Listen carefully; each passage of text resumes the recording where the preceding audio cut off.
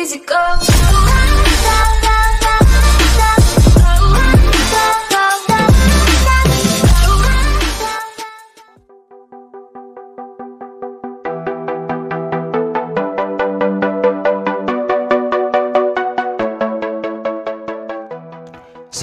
Baraya Boboto. Persib Bandung resmi membentuk tim satelit dengan nama tim Persib Bandung B yang nantinya akan berlaga di Liga 2 2019.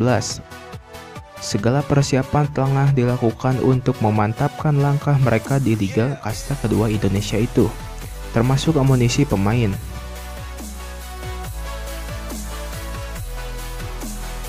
Para pemain yang direkrut merupakan para legenda di skuad Persib Bandung hingga para pemain junior. Saat ini Persib B tengah melakukan seleksi pemain. Seleksi dipimpin langsung oleh Listiadi yang menjadi pelatih Persib B. Persib B sendiri merupakan tim yang awalnya bernama Blitar United. Siapa saja yang bakal memperkuat Persib B masih belum pasti.